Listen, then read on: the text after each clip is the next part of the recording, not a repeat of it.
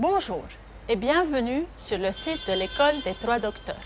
Trois docteurs, trois éminentes figures de l'histoire qui ont laissé une trace indélébile de leur passage, mais aussi qui ont inspiré ceux qui les ont connus ou ont connu leur histoire et leurs accomplissements.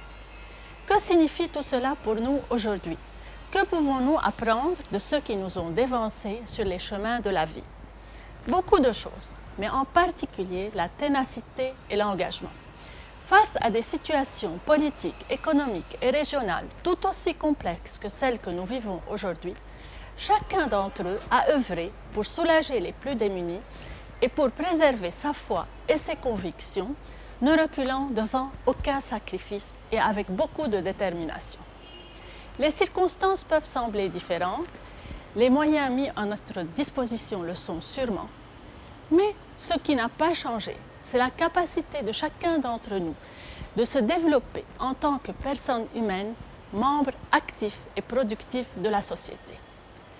Combien d'éducateurs sont disposés à accepter ce rôle, à en faire un mode de vie? Combien d'apprenants sont prêts à mieux connaître leur héritage et leurs racines et à les accepter, à se développer et développer leurs talents et à construire l'avenir, le leur d'abord, mais aussi celui de leur pays et de leur communauté.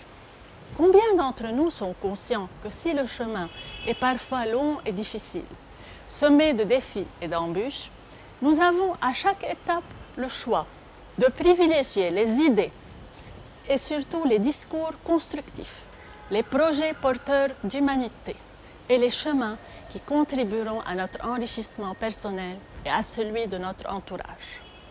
Je vous invite à y réfléchir avec moi et surtout à chercher la réponse au fond de votre cœur, là où se trouve celui qui nous a donné la vie et qui ne demande qu'à nous aider à ce qu'elle soit plus abondante.